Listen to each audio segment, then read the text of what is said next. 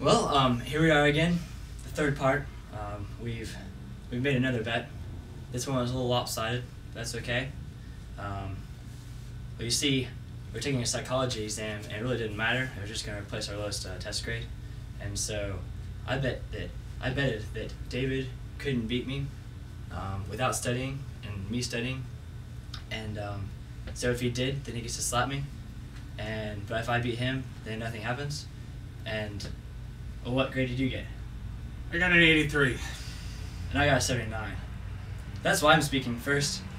I'm gonna get slapped here. Right, right about now. And, and it's gonna hurt.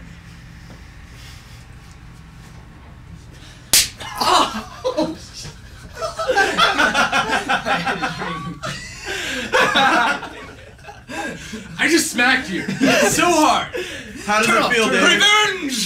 Revenge! Justice! How does it feel? Good! Very good!